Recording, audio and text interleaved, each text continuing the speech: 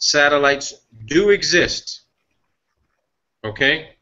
But I'm of, of I am of the belief and understanding that there is no possible way that anything weighing over a ton is being put in the nose cone of any rocket. I don't give a shit how powerful the rocket is. I've done, I put out videos, you know, um, explaining to you guys what Don Pettit, NASA astronaut and PhD, who talks about the tyranny of the rocket equation. I put this out, and he explains. I don't explain it to you, but he explains how it is dumb mass, meaning extra weight, and material, and scientific instruments literally affects the entire performance of a particular rocket based on the amount of fuel it needs to have on board to do what it needs to do. But there's no way, I don't give a shit what type of physics science that they're they're engaging in, mathematics. There's no way they're sending something up in the sky on a rocket that weighs over a ton and allowing it to maintain its aerodynamic stability and remain control and stay and stay in control where that rocket is not spinning out of control and basically exploding in the sky. So based on that hypothesis, I'm going to reveal this document to you guys to show you there ain't nothing in the fucking nose cones in those rockets. The entire satellite program worldwide, worldwide, okay, worldwide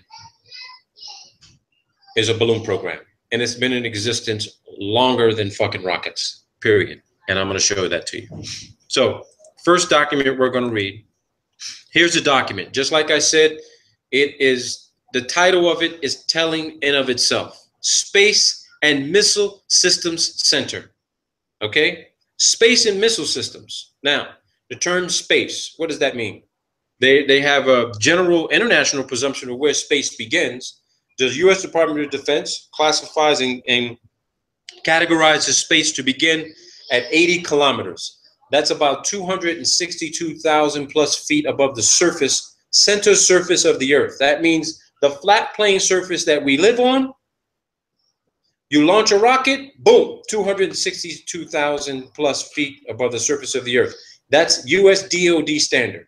So According to the DoD, they got aircraft that could fly close to that, maybe half the distance. But the international standard is called what they call the Kármán line. Theodore von Kármán developed, him and a bunch of physicists and scientists from all over the world, including scientists from the United States, established in the 1940s that space actually begins at 100 kilometers. For those in the United States, that converts to 328,082 328,082 feet above the surface of the earth. Okay, that is where actual space begins. Now, what is space? We can we can have several definitions of what space is. We don't fucking know. They're still studying it as we speak. So space definitely that at that altitude, even at DoD standard, we got a serious lack of oxygen, and all of the components and pressure and environments that are consistent on the surface plane of the Earth. Okay? So in space, you have limited to almost zero aerodynamic control, astronomic control. You need some sort of vehicle that has to travel at ultra high speeds beyond, well beyond the speed of sound, which is 700 and I think 60 miles per hour. Okay? It has to be traveling at high speed you know, for it to maintain any sort of aerodynamic stability and function and control at those altitudes. So, Space and Missile Systems Center. This is an interview with Lieutenant Colonel Harold E. Mitchell for the Corona program. Now, let me dive about the Corona program. The Corona program, okay, the Corona program is still a top secret program. It was a program launched by the National Reconnaissance Office in conjunction with the CIA. It's supposed to, it, it's equipped with some very advanced optical equipment and photographic equipment to conduct mapping and, and reconnaissance uh, intelligence gathering capabilities. Okay, so I have that document pulled up here for you guys that we're going to reference. We're going to need that program.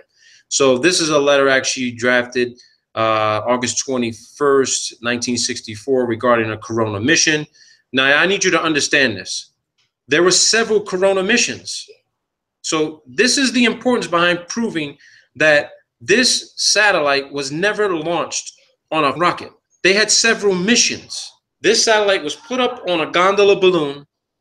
It did its thing for however many days or months, and then it was captured by a C-119 multi-engine turboprop U.S. Air Force cargo plane, specially outfitted to capture this thing on a to capture it using some sort of tailhook type of device. Okay, so I'm not going to read this entire document, but there's specific sections of this document we're going to address, so I can prove to you guys that satellites are not floating around above a hundred maybe 100, 200,000 feet.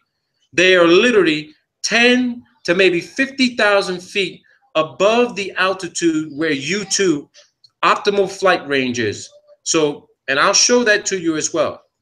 The technical specs for U2, they can go beyond 70,000 feet, okay? Beyond 70,000 feet. That's not their max operating altitude. They can go beyond that, okay? Now, the reason why I chose this document is for one simple reason. Although this activity occurred between 1954 and 1956, and Corona program is 1958 to 1962, the subject time frame involves about 20 years, 23, 23 years. But look at the date of the interview, people. The date of the interview was October 1st of 2003. Now, what significance does that play? One, it's to me, it's fairly recent. Even though this is 2016, that's 13 years. Okay, this this document was recently declassified as an interview, but it's also interesting to note that it was conducted by the Space and Missile Systems Center. So, Robert McCulley was the uh, of the History Office at the Space and Missile Centers at Los Angeles Air Force Base. So this guy is going to interview Lieutenant Colonel Harold E. Mitchell of Missouri over the telephone about his experiences recovering Corona satellites. All right, I'm going to skip forward because he just talks about the guy's history, where he got his training, how long he's been doing his training. You know, this is just basically, you know, uh, introductory type of, okay, this is who this guy is. I need to know who he is. Let's, okay, now let's get to the meat of what, what it is he was doing and what his role was in this program. So they talk about what his rank was. This guy was a captain. He was in charge in 1954. He was part of the Dragnet program, also known as the Genetrix program or weapons system 119L came along. They were flying out of Charleston, Car- Charleston, South Carolina. That's where they were doing a lot of their training. They were flying a C-119. You saw a brief picture of what that looks like. It says, how did you conduct your training? They talk about how they were conducting their training. Again, a lot of this information, it's not insignificant, but it just adds to the narrative of, you know, is he talking to the right guy? All right. Um, all right. So here's some of the, the beginning meat of this interview. Macaulay asked Mitchell, Captain Mitchell, did you ever recover the Dragnet training capsules at night? Mitchell says, it's impossible to recover at night. The only time we flew at night was during our instrument training. We didn't fly our emergency training at night either. We did all of our training instrument flying 16 hours a day. We did that because time was of the essence. And if we didn't fly night missions, we'd never get all the training done to get people ready to go into the practice sessions. Okay, so let's go ahead and now here's where he describes what the dragnet gondola looked like. What did the, what did a dragnet gondola look like? Well, we use similar parachutes except the Corona program or Discoverer program only used one chute.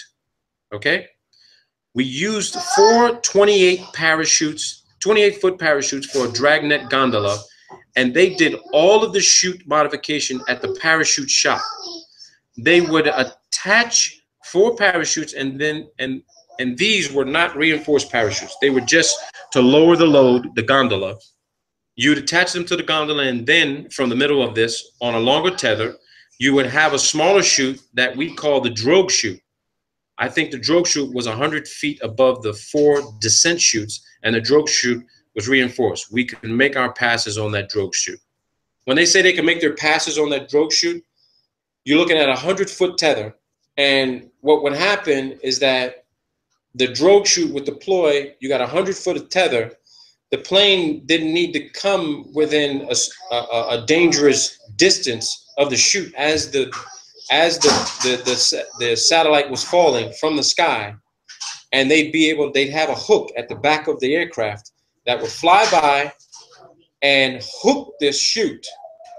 And once they hooked it, they start reeling it into the back of the aircraft.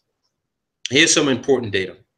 The top of the gondola, the top of the gondola had a compartment for the chutes and all that stuff. And a lot of it had to be the parachutes, but the whole capsule was 1,450 pounds when it was airlifted. Okay? The capsule they're talking about is literally the satellite.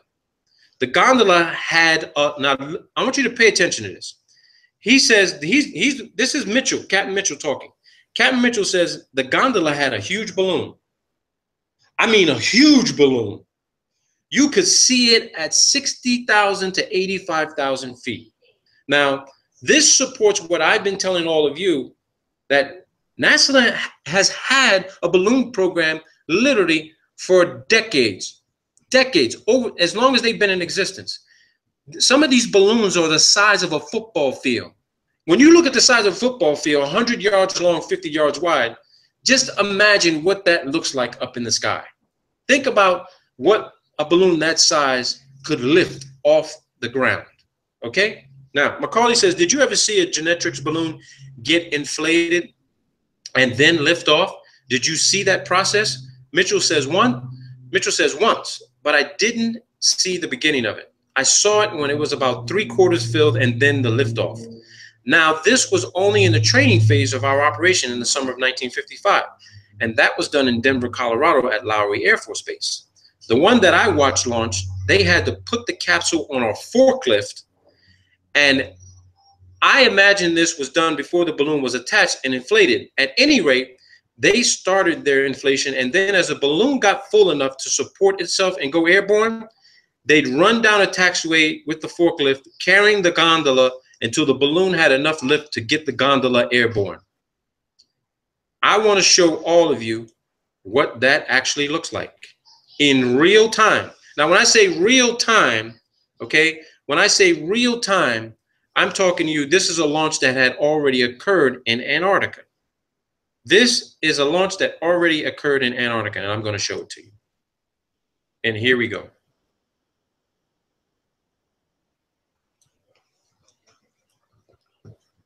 This is I just read this to you. This balloon launch took place in Antarctica, and it's an 8,000 fucking pound telescope satellite. There goes the mountains in the background. Here's a visual description of what I just read in that document.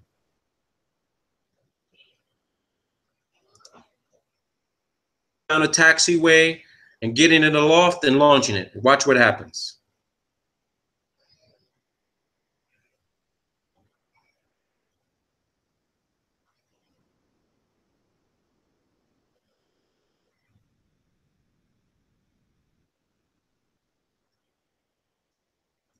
If you like apples, how you like them fucking apples?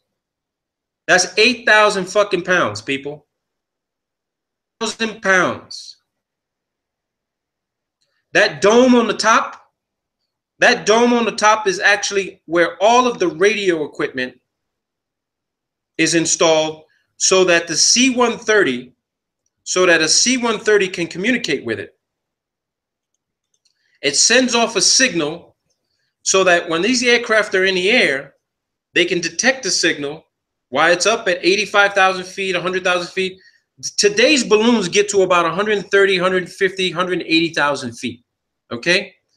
And at nighttime, when the helium air is cooled down, the, the, the, the balloon drops in altitude about 10,000 feet, maybe 5,000 feet.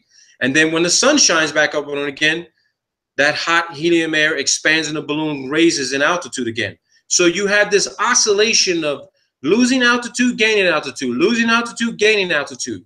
Now, for anybody that hasn't paid close attention to what the ISS is doing, The ISS is doing the same fucking thing that balloons do. And I'm going to prove that to you as well that the ISS, if it exists, which now I'm of the of the notion conclusion that it does exist, that means that the ISS is up in the sky. It's not at 245 miles. It's within, say, 150, maybe 250,000 feet. And to prove to you where that site location is, this is Google Earth Pro. This is December 15th of 2009. Okay? This is Antarctica. Antarctica people. On the other side of Antarctica, this is the launch site for the balloons. It's called the Wallop program. Based on satellite imagery, you have these large cranes out there, okay? launch site for the balloons. Further proof that they're using aircraft to capture these things down in Antarctica. This. Here goes your C-130s, C-7. These are your C-130s. These are your C-119s. Prop planes. And if anybody wants to say, oh, well, they're using this to transport people back and forth. Yeah, they are using people to transport back and forth. But guess what? These are also specially outfitted aircraft to literally recover when the when they pop when they intentionally burst the balloon it comes down on a drone chute a drogue chute and these aircraft fly at at uh, 20 30,000 feet and they go and grab this thing. There's your aircraft. Five. You have a sixth over here. This is for crew transportation but these big boys right here these hercules these Hercules are the ones that are recovering 8,000 pound telescope satellites launched from Antarctica. The document, because this document gets better. Now, Macaulay says, did the gondola lift off pretty quickly after it was inflated? Mitchell says, yeah. Once it was inflated with the helium it carried, that balloon was designed to go during the day to about 85,000 feet. Now, this is back in 1954, people. Today's balloons get well almost three times this altitude, okay? Maybe two and a half times.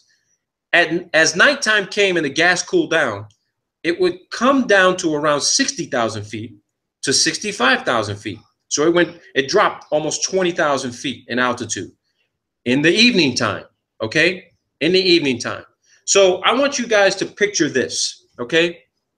There are people online um, who they they're so in love with NASA, they will tell us all these trolls will say, no, I've seen satellites myself. They'll say, no, I've seen satellites myself. I've seen it in my telescope. I've seen the Hubble. I've seen the space station. I've seen a satellite pass over.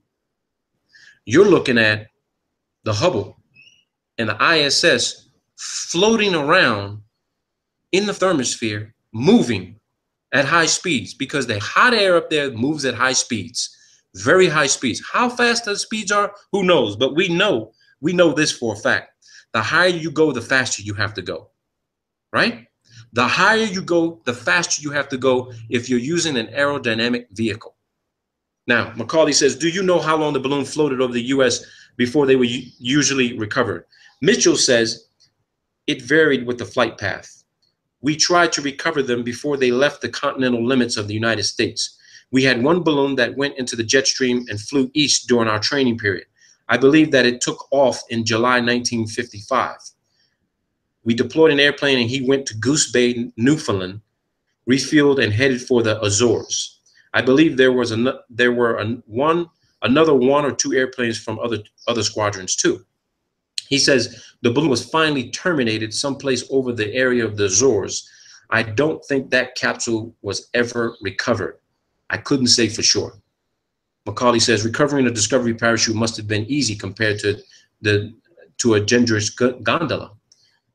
Mitchell says it was. Discovery was much easier once we resolved the problems and they designed the right parachute and equipment to recover it with. Actually, when you do aerial recovery every day, it's a piece of cake, easy. It was fun. Each recovery aircrew had to aerially recover five dragnet parachutes after we'd complete our aerial recovery phase we went up to an airfield at Georgetown, South Carolina. Ground crews would use drums of water to simulate the gondolas for surface recovery. Oh, look what he says here. He says, during the Genetrix program, we operated under the Strategic Air Command. To show you how important Genetrix was to the Strategic Air Command, we pilot, we pilots each carried a letter in our in our secret folder along with our top secret aircraft equipment. It was a letter from the Director of Operations for Headquarters, SAC. His name was Brigadier General Howard Smith, to the commander of any SAC base where we had to land, that we had the number one priority over anything else in refueling, maintenance, and getting our aircraft back airborne. Now, why would they have number one priority to refuel and get airborne again? Let's let's let's assess that. Well, if there's hundreds or thousands of these satellites supposedly in space floating around. And we know now they were balloons. And these things suffer some sort of malfunction and they come down. That airplane has got to go to that location to recover that thing. These airplanes had to be available nonstop to go anywhere at any time to recover this thing. And it had to be recovered once they got notification, hey, the balloon just popped, drogue chute, we need an aircraft up in the air immediately. They couldn't get to one of these satellites fast enough, and it actually crashed somewhere in a foreign country. And I'm going to read that document to you of what happened to it. So he says you had a terrible time getting refuel maintenance or anything just to get out. On the way to California on that particular trip, I had to go from Greenville and refuel at Salina, Kansas, Smoky Hill. Uh, let's see here. Okay, here's where they talk about getting in contact with one of the balloons. I then flew into Castle Air Force Base on Friday night. The next morning, we checked into the command post. The balloon had started traveling to the west, and they were concerned about it. So they scrambled us, and we started tracking after it. Each one of these balloons transmitted their own identification signal. By the time we made contact with the balloon, we were about 310 miles at sea, west of San Francisco. I didn't like us being out there by ourselves, especially making aerial recovery. At about 85,000 feet, after you sighted a balloon, you'd interrogate it. The balloon's radio signal would give, give you its code name or code number. If you wanted to terminate its flight, you had a black box up on the flight deck at the navigator station. He would dial in the code of the balloon we were trying to track, and the balloon would come back and answer. Then, if we had clearance, from the Charleston Air Force Base command post to bring the balloon down, we would insert another code. This then would ignite a blast from the gondola that would burst the balloon. After we terminated the flight of the balloon, here's what they say. It would do very much the same as the Discoverer did. It would fall so far, and then the drogue chute would come out. The chute would slow it down until it was at an acceptable altitude and airspeed and then the parachute would get fully deployed. It was late. Listen to this, people. It was late in the evening when they authorized me to terminate the balloon. Macaulay says, once you recovered this gondola, what happened to it at that point? Mitchell says, we made the recovery on it, brought it back in. We were very low on fuel. I told them I was going to Castle Air, For Air Force Base to refuel. Then they deployed us to Offutt Air Force Base, Nebraska, where we delivered the capsule there. Where it gets interesting for me. After you, Macaulay says, after you landed at Offutt Air Force Base to drop the gondola off, how did they unload it and take it away? Mitchell says they sent people out and it was offloaded. Where they took it to and what they did with it afterwards, we didn't know. That was not our mission. Dragnet was a top secret operation, gondola and all. The only thing that we were concerned with were the people who were not connected with the program that they had no opportunity to see the gondola, so we carried sidearms. You hear that? They didn't want people to see this thing. So they they were always strapped, ready to go. That if someone were to see one of these things, they had to deal with that person. Now, this was back in 1954. You bet your ass the same thing is happening today. They don't want nobody seeing the Hubble come down on a parachute. They don't want to see it. They don't want to see parts of the space station, which is in modules, detach, come down on a parachute, get captured by one of these these C-119s or C-130s taken down to Antarctica at the Concordia station. And just to remind people and to redress this, Concordia station, NASA classifies it as a hypoxic environment. Okay? They said the conditions at Concordia are more severe than being on the ISS. So when astronauts astronauts actually are sent down there for cold weather training in the most extreme environment on Earth. How could there be a place at about 8,000 feet above sea level be more extreme than being at 245 miles above the surface of the Earth, supposedly in microgravity? And I thought to myself, wait a minute. The ISS is definitely not at 245 miles because if I can go to Concordia Station in Antarctica and literally be in worse conditions than being on ISS, then ISS conclusively has to be around 150, 160,000 feet. Let's keep going on. So this guy goes on and he says that, and this is what's interesting about this. He says he, he had an instrument problem on the airplane at Offutt Air Force Base, and the people came out to refuel the plane. I filed back, I filed to come back to Charleston as soon as they offloaded the gondola. This was on a Sunday morning, and I'd gotten in there late Saturday night. The base operations officer said he was going to come aboard. He wanted to check Form 21A, which is my maintenance form. I lost an inverter and I had a bad generator, but I didn't want to fool around and stay at Offutt Air Force Base on a weekend trying to get it repaired. So while this guy's at this base, this captain, okay, some lieutenant colonel, he says he was a lieutenant colonel and he tried to come on board our airplane. And here's what happened.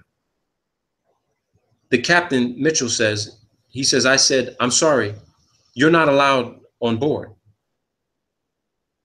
this lieutenant colonel stepped up the ladder and started explaining that he was a silver leaf, a lieutenant colonel, and I was wearing tracks, a captain. About that time, he heard the rifle bolt of a carbine, carbine slide home, loaded to ammunition. My crew chief was standing there with his carbine down at his hip, so that the lieutenant colonel, so the lieutenant colonel decided not to come on board. He decided prudence was better part of valor. So you see that? This guy's a captain. He tells a lieutenant colonel, Sir, I'm sorry. You can't come on board. I'll come down to show you my Form 21A, but you can't come on board. This lieutenant colonel says, Excuse me, but I'm a lieutenant colonel and you're a captain. I can come on board. And one of this guy's crew chief says, I don't think so. He chambered around. Lieutenant Colonel said that. And he's like, okay, no harm, no foul uh, let me know when you come down and show me the form. I mean, come on, people. You're talking about an Air Force pilot, top secret security clearance, maybe higher, and they got authorization to kill one of their own people if security is breached. This guy's not even supposed to know what the hell is inside that aircraft. They were ready to shoot him. That's what you got to deal with. So, and Macaulay says, did the Genetrix gondola drop a capsule like the Discovery did? Mitchell says, no, the gondola hung below the four 27 foot, 24 foot chutes. When you shoot the balloon down, all these parachutes packed on the top of the gondola deployed, the gondola will start then falling to the earth. He says, so you recovered the entire gondola. He says, you caught the whole thing. You caught everything except the balloon, and it was quite a load aerial recovery really was kind of a hairy operation because you're flying at such low speeds. We were especially low on fuel that night. We had to fly at, a, at about 150, 115 to 120 knots just to keep our airspeed up. And with the beaver tail door open and the recovery poles and cables hanging out of the back of the end of the airplane, it took quite a bit of power using quite a bit of fuel. So again, these guys are recovering things that are thousands of pounds, half a ton, a ton or more. They have to fly at low speeds just to capture the damn thing and make sure they don't rip the tether apart and lose the damn satellite. So once they capture it, they got to start reeling it in and they got to maintain altitude and power, which uses up a lot of fuel just to stay in flight. and then they beat feet out of it and get the hell out of there and take it to where it needs to go. So here, here's some descriptions of where they actually have these aircraft launching these balloons. He says, once our Genetrix training was completed and the airplanes were put in top maintenance condition, we deployed to our pre-designated bases in November of 1955. We had three squadrons in the 456 TCW, and they split each squadron right down the middle into six detachments. Our squadron, we were the 746 Troop Carrier Squadron, and our detachment was deployed to Kodiak, Alaska. The 745th Squadron went to Adak, Naval Air Station, Alaska, and the other detachment was sent to Japan at Johnson, Misawa, Itazuke. Another squadron was sent to Kadena, Kadena, Okinawa. Our headquarters was just was at Johnson Air Force Base. They had these everywhere, people. They had them in Germany. They had them in Sweden. All right. They even had some in Russia. Russia. So let me see here. I'm going to take you to the part where they talk about the U-2 program, how U-2 actually replaced them. Let me see here. Okay, here we go. They said that night the winds got up to, this is when they were in Alaska. He says the, the, the winds got up to 100 miles an hour. It sandblasted the airplane, absolutely sandblasted the paint off of it. About the 1st of April, the U-2 started flying, so our missions were over about the 1st of April, 1956. Okay? I'm going to show you Lockheed's site so we can look at U-2 and do a little brief technical descriptive analysis of U-2. Macaulay says, when you were flying out out there looking for gondolas, were you both visually looking for them and listening to your radios for their signals? Mitchell says, we were doing both. In Alaska, the daylight hours are pretty short in wintertime. So they would give us the codes of the balloons that were flying in our area. The navigator would continually monitor the different codes with the ADF, the Air Direction Finder radio.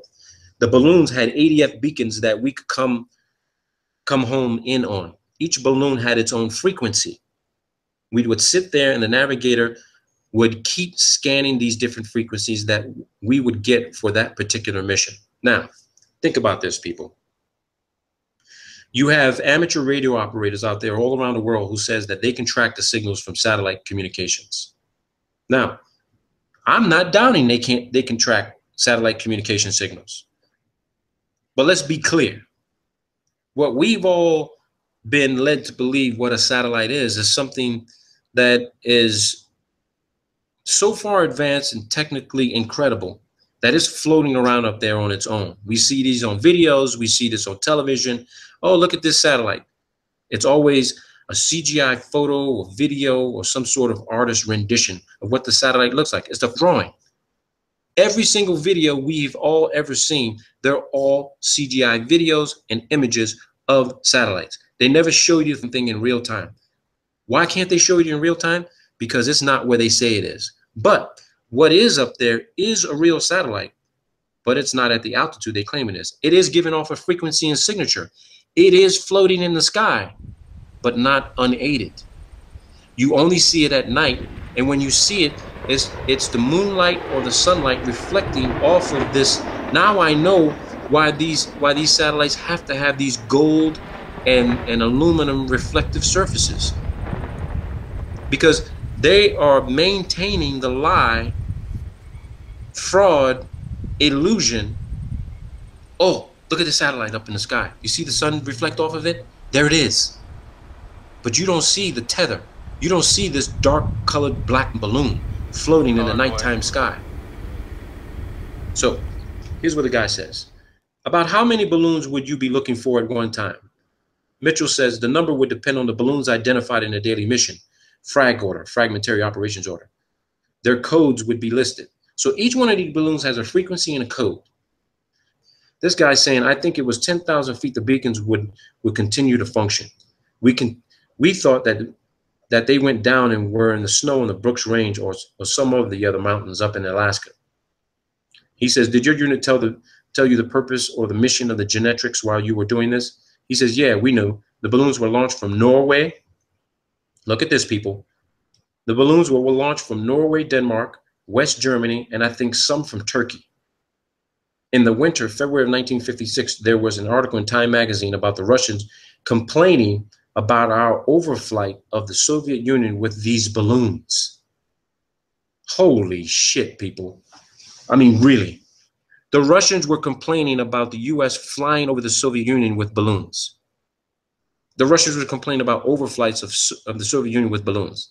They had any number of gondolas stacked in the Spiridonovka Palace driveway of Foreign Ministry. Molotov. It was just unbelievable. He had many of them. What they're describing here is this. The Soviets ended up capturing a shitload of these fucking balloons the US was sending up in the air. And they would literally send their aircraft up to capture them and bring them down. Now you got to think about this, people. this is absolutely mind blowing. You're trying to tell me that we've been spending trillions of dollars for over 60 years for a satellite program they claim is going up on a rocket and it's just a balloon you can buy from a hobby shop? Oh my God. This is incredible. An interesting fact, the airplane I flew during the Corona program had many recoveries of balloons than any airplane in the 456 wing. It was flown by Captain Slaughter Mims. And I think Slaughter recovered three balloons near Japan. He got more than anyone else. Slaughter had a lot of success. And he's describing the same aircraft that this guy flew. Okay? Here you go. This guy, Macaulay says, how, how successful was the Genetrix program? Mitchell says, none of the pilots associated with the project was ever permitted to see any of the Genetrix film that was recovered. The film was stored in the vaults at Air University at Maxwell Air Force Base the last I heard. I was at Air University Film Library in 1957, and I asked if I could see the film, but they wouldn't let me because I didn't have need to know about it. Outwardly, I understood that this, that it was a fair success. We knew more about the Russians than we would have without Genetrix. It wasn't, but it wasn't good enough to continue with in conjunction with the U-2. It was like the U-2 wasn't as good as Discoverer. I have a document and a study on Genetrix done by a gentleman up in Minnesota. It gives the number that was recovered. A lot of the gondolas went into the water and were never recovered. They had a saltwater plug in them that dissolved when the plug came in contact with the water and eventually sank the gondola. That's what they say. That's what they say. Now, get this. Macaulay says did the public ever see the Genetrix gondolas and, and think they were UFOs? Mitchell says, I never heard of any reports of that nature, if there were any. There could be, there could have been. I don't know. You know, it's been so long since that operation. I don't recall any newspapers that might have said that they were UFOs. I know you could see the balloon. Listen what he says. He says, I know you could you could see the balloon very easily from the ground. It looked, here you go, people, smoking gun it looked about like a silver dollar during the daytime because you couldn't see anything attached to it. You see this for yourself, people. He said it looked, you could see it from the ground, and it looked like a silver dollar during the daytime because you couldn't see anything attached to it. So, for all those naysayers out there that claim they've seen the Hubble, they've seen the ISS, they've seen other satellites and shit floating around in the sky, Think about this. That reflection that you see with the sun reflecting off of the aluminum surface or whatever type of aluminum, whatever type of shiny reflective material they're using for these satellites, carried by the jet stream, flying around a specific territory that is tasked to fly around in. Macaulay says, at that time, did you normally call the program Dragnet or Genetrix? Mitchell says we call the Dragnet. Genetrix was a classified code name for the program like Corona and Discoverer. Dr. Alvin H. Howell was the brains behind the balloon program. There you go.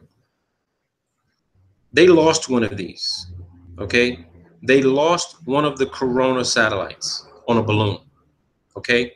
This is a letter written to the Deputy Director for Science and Technology at the National Reconnaissance Office, okay? This was released, declassified and released by the National Reconnaissance Office November 26 of 1997. in accordance with Executive Order, I think that's 1295-8. Subject, Corona Mission 1005 incident. This memorandum is for the for information only. Corona Mission 1005 was launched on 27 April into orbit. Orbit. It was they're considering orbit to be space. We know it ain't fucking space. All right? But that's moved. Let's continue on. Recovery attempts commencing 2 May were unsuccessful. Attached here too is a chronology of operational reporting received on this mission. Number three, on August 5th, OSA received word from its security representative at the Air Force Base, Los Angeles, that a satellite capsule had been reported as coming down near the Venezuelan Colombia border. The actions taken by OSA upon receipt of this information are detailed in a separate attachment. As a result of the investigation by the OSA in conjunction with the Caracas station and the embassy attache office there, the following facts are noted. Listen to this. August 1st, first word was received by Caracas Army Attache Office of finding of a capsule at La Fria, 500 miles southwest of Caracas in a remote region of the Andes. August 3rd, reconfirmation of capsule finding made by telephone call to Caracas Embassy. August 4th, representatives of the embassy viewed capsule at San Cristobal, to which it had been moved by political police. First press stories appeared. August 5th, capsule flown by host government to Caracas. August 6th to the 10th, capsule held by Minister of Defense of Venezuela. All right. August 8th, team from headquarters arrived at Caracas consisting of a security officer and a technical officer from the OSA office and a technical officer from the National Reconnaissance Office. August 10th, capsule turned over to embassy, examined, and reports made by the headquarters team. Copies of pertinent cables on technical and security aspects attached. August 12th, security officer scheduled to return capsule to West Coast. August 6th to the 12th, for the record, it should be noted that on Thursday, 6 August, a request was made by the CIA to the NRO to convene a meeting of the Interdepartmental Contingency Planning Committee to assess the problems, coordinate procedures, and assign responsibility for responding to any news media queries which might arise. Now, what's interesting about this, they noticed there was a label that, that, that there was a, a secret um, label on in satellite. It was marked secret. They removed that classification from it. This is regarding the history of satellite reconnaissance, volume 2A, SAMOS. Remember that name, SAMOS, okay? The SAMOS satellite, because here's what I'm going to take you to next. This is the list of all balloon launches from the Esrange Space Center in Sweden. Okay? Now, let me take you, let me take you to the Swedish Space Center. And here is the Swedish Space Center website. This is the Swedish Space Center. And as you can see, they have balloons and rockets, payloads. This is their website. This is their website. Swedish the Swedes. Okay? It's the Swedes. Here's their space center. They do balloon launches. Now let me take you the document I downloaded from their website. Now, this is a list of balloon launches from the Esrange Space Center starting December 9th of 1982. Remember that term, SAMOS? You can read these documents for yourselves. We don't need to keep going through all this stuff together. I put a lot of this shit out for you people so that you can see this. You see they talk about weather satellite program, mapping satellite program, realignment controversy, new directions in satellite reconnaissance. Okay? But let me take you to this document, which is very important from the Swedes. This is not US oriented. I got this from a foreign country. Okay? So you look at some of the launches. These, these are balloon launches, people. These ain't rockets. It says it. List of balloon launches. There's going to be some things here that you may see that are going to catch your eye. All right? Because I want you to look. You see the campaign, you look at the payload. All right? You got campaigns and payloads. And we're not going to go through all these codes, but you're going to see something that's going to catch your attention. All right? We're going to keep going through this. All right? Keep going through it. You're going to see something that's going to catch your attention, that's going to blow your mind. You see this, people? What does that say? Mir.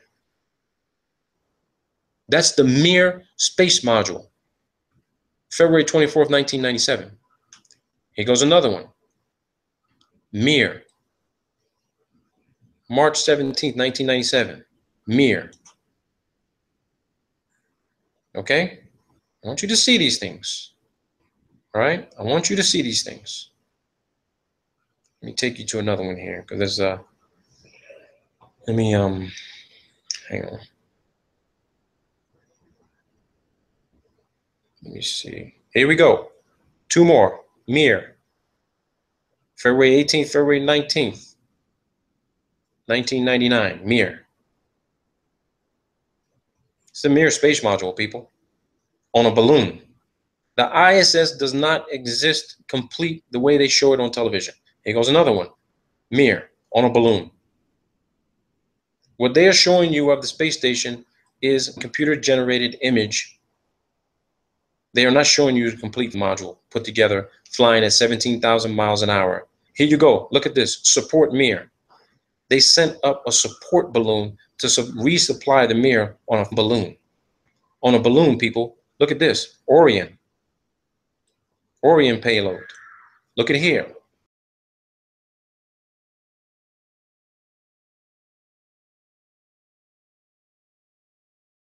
Inmarsat. You want to know where your satellite uh, phone communications come from? A balloon, people. A balloon. I'll supply this document to whoever wants it. Here we go. Inmarsat test. Balloon. If you were to take time to search every single one of these flights to match it up with a particular rocket launch that they claim this thing was on, I guarantee you, you will be able to compare it with this Swedish Esrange Space Center balloon flight list. Balloon flight list. Balloons, people. That's your program. It's always been your problem. Look at this. Mir short duration. Mir VLD. Me, you got two VLD. And look at here. More Mir. This is in 2002, people. 2002. Every, eh, for those in Europe, you ever heard of Envisat? Look at Envisat. Envisat. These things are supposed to be testing the atmosphere for particulates and, you know, for pollution control. Balloons, people. You you you just you can't come to any other conclusion. You don't have any other information to prove you were at the launch pad and you saw them put this thing inside the nose cone of a rocket. You didn't see it. You can work for nasa you can work for the germans you can work for the russians. You did not see what you thought you saw going into a nose cone of a capsule and with with a with an unedited video stream and put on a launch pad and launched into the sky on a rocket you didn't see that look at nasa why is NASA using why is NASA using the Swedish to launch a balloon for them? Think about that. They're everywhere, people. They're carrying out the deception, the fraud, the hoax, the scam, the bullshit. It's all here. It's all here, people. I keep saying it's not what you know, it's what you can prove. You can talk about it all day long. You can claim this is your theory, this is your hypothesis. You ain't got no documentation to, to fucking back it up. You just want to show some bullshit video and you're not a videographer and you don't know how to do video analysis. You got to get the documentation. And here's the documentation right here. NASA, 2011, LED, ESO, high wind. Just check these out. Because I have. NASA, 2003, 2013, Sunrise 2. Look at that. Balloon, balloon, people. That's a complete list. It goes all the way to 2014. 2014, people. 2014. There you have it. There you have it, people. I don't know what else to tell you. I really don't know what else to tell you. Check this out. Just check this shit out. Check this shit out. Another satellite being launched from Antarctica. Check this out. You're going to love this one. That's Antarctica, people. Remember how we saw that circular launch pad? The bulldozer is smoothing out the, the ice and snow. Look at this. Just wait and see. Watch this.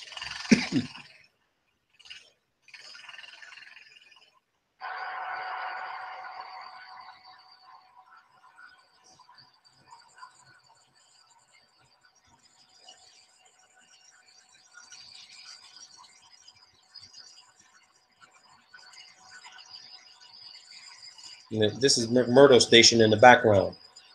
McMurdo is right back here. They have line of sight to this airstrip.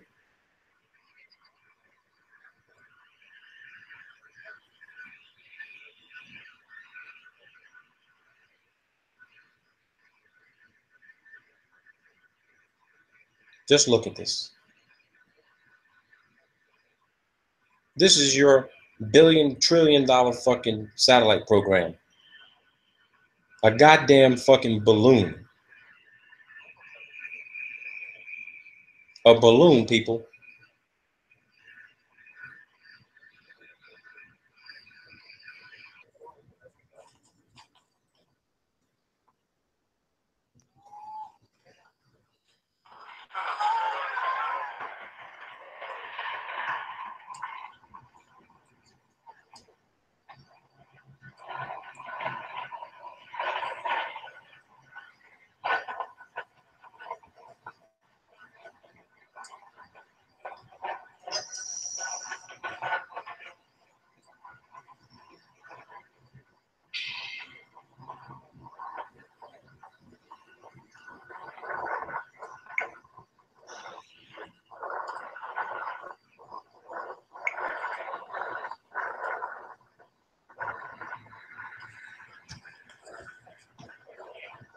There goes fucking 20, 30 million dollars on a balloon. It's not inside a fucking rocket nose cone. There you go. Woohoo! Woohoo! Yay!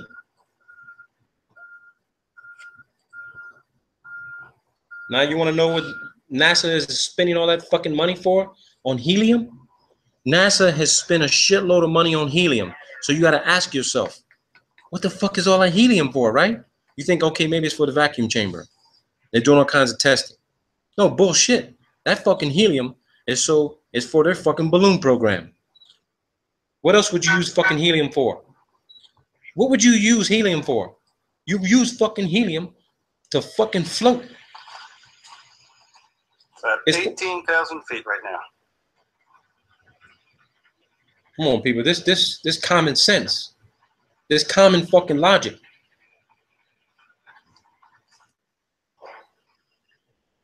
Okay, the payload is now at 105,000 feet. Look at that, 105,000 feet. Quite well, even with the naked eye. It's nice and well inflated now. So based on the size of that balloon, now we're at about 120,000 feet. Look at that.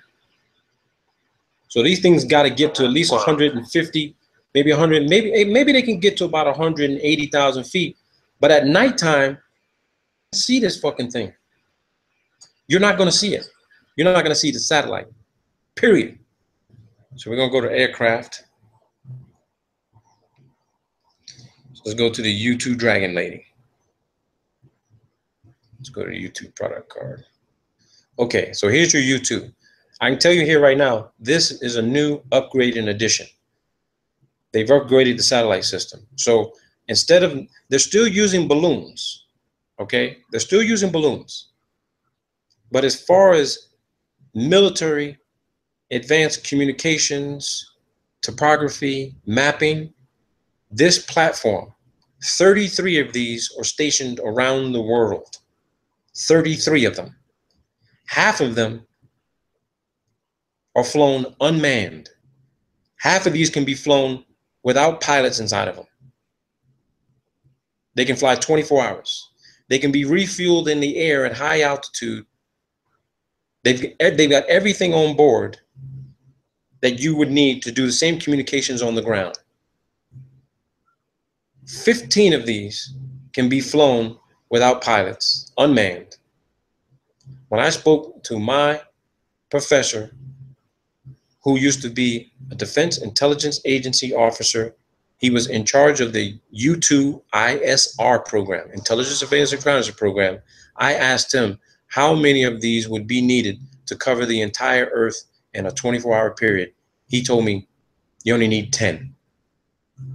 You could map, you could cover the entire Earth. And your satellite photos that you guys see, satellite imagery, high altitude imagery that they claim is coming from the ISS, the U2 is taking the high definition photographs and they're being presented as ISS fo footage. Don Pettit told you in the tyranny of the rocket equation, there ain't no fucking way humans ever left the fucking earth. They ain't never left the fucking earth in the space. This is it right here. Period. Period. So let's look at this document. I want to blow this up for you guys here. So let's do this. It says here, and I want to go specific to the technical cap capabilities. Okay? Let's do this. It says here, look at the maximum cruise speed. Actually, no, the cruise speed is 475 miles an hour. Now, that's completely contradictory to what we have learned and been told with regard to high altitude aeronautics, that the higher you go, the faster you got to go to maintain aeronautic stability and control. But it seems here that the cruising speed for the U-2S is 475 miles an hour. There's less atmosphere at altitude. But this is where people get confused when you see all the videos.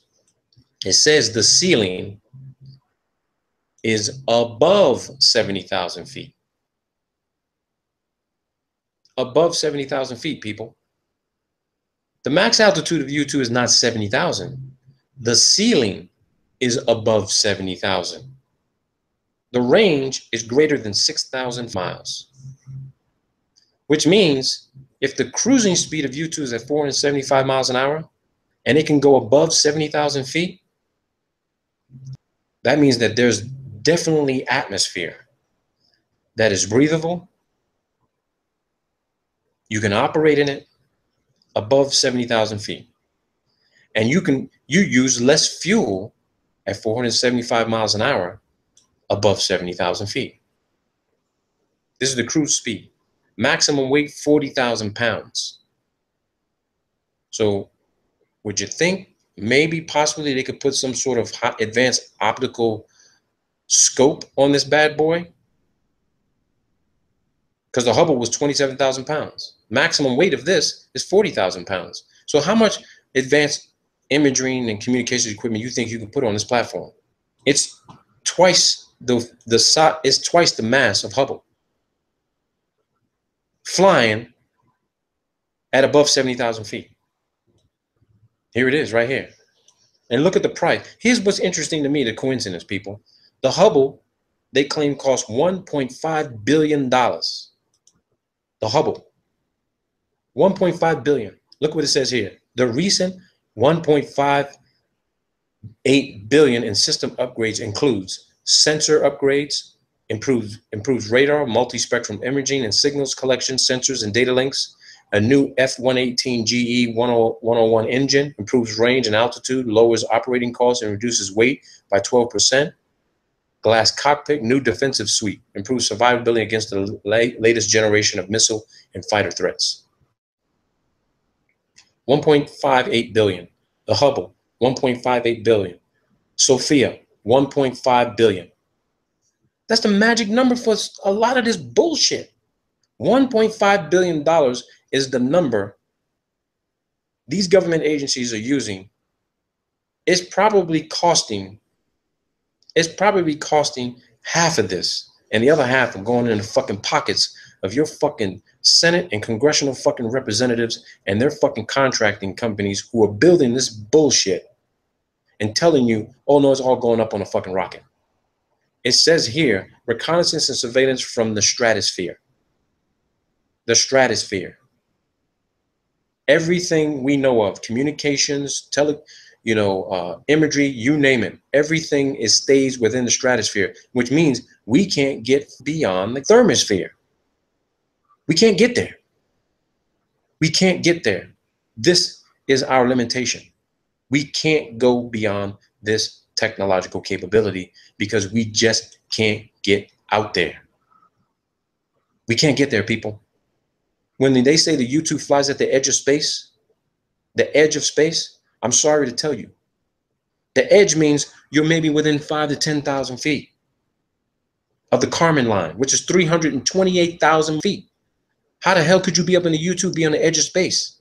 The edge of what space? You mean the next space, which is from the stratosphere is the mesosphere and then the thermosphere? Because maybe they're on the edge of the mesosphere. Or the thermos, they ain't close to the thermosphere because it's too goddamn hot up there. It's in excess of 500 degrees Fahrenheit. You honestly think that this aircraft will be able to withstand those heat temperatures? Look at the SR 71. They tried to take it up there, and look what happened to it. I do believe we have to fly faster the higher you go, but we can't do it. It's that simple. It's that simple. To me, it's that simple. It really is, people. To me, it's that simple. That's the presentation, people.